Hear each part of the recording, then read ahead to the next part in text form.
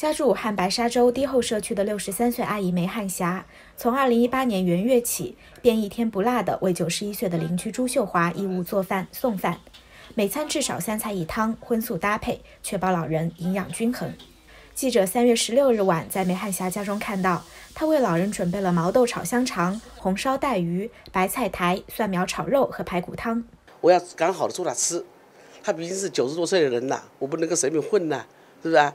尽量的有汤汤水水呀，荤啊瘦啊，但是我就搭配营养也跟它跟上来。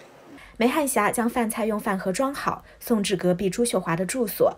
因为担心老人的眼睛看不清鱼刺，梅汉霞用筷子将带鱼的鱼刺拆开，把鱼肉分成小块喂进他口中。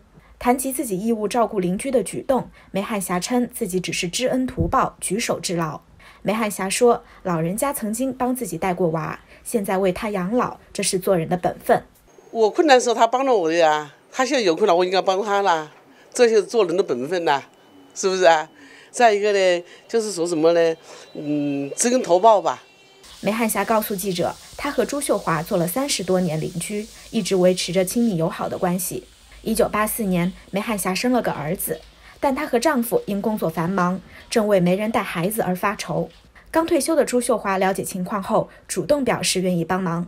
一九九一年，朱秀华的老伴去世，她便开始了独居生活。二零一七年，朱秀华患上白内障，眼睛渐渐看不清东西。随着病情的严重，她已经无法独立做饭了。梅汉霞了解到朱秀华的病情后，立马决定义务帮她做饭送饭。她这不像邻居家自己的姑娘，真心真意的。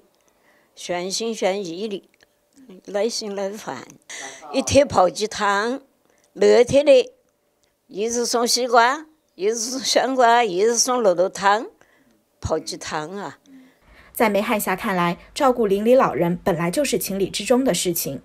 他表示自己会一直照顾朱秀华，愿意把亲密无间的邻里关系一直维持下去。我我已经有那种打算了，一直照顾他，百年贵世吧。他基本上就愿意我照顾他，就打算一直这样，哎，一直维持下去吧。